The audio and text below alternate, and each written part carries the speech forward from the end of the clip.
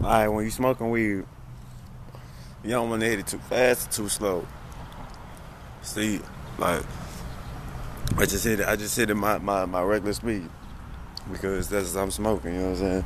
Uh, nigga, nigga keep on passing you some weed and some weed and some weed and stuff. I mean, you want you want chance to get fucked up and shit. me, nah, not me. Fuck that. I don't smoke nobody. You know what I'm saying? Me, the weed, the weed lets you know evil lurks. Evil lurks. See, I just be uh, smoke out. I just be smoke out in the motherfucking camera. But just because I'm cool like that, I'm a cool guy.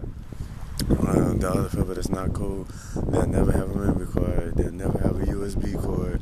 They'll never have a PlayStation. They'll never have their own money. And that's like kind of like me. I don't have that right now. I don't have my own money. I don't have my own PlayStation. I don't have my own house.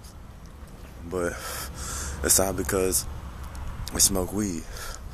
And then, and the true weed smokers will be like, man, man, I'm gonna start smoking weed. Well, I'm gonna start smoking weed. well, shit, you can't ever really start smoking it. Like, I can't start smoking it right now. Let's, the baby the pole. Do it. Cause I always want that low look in front of my, in front of my true fans. You know, you know what I mean. So. Um, God bless y'all. This was the movie. And stay tuned with me.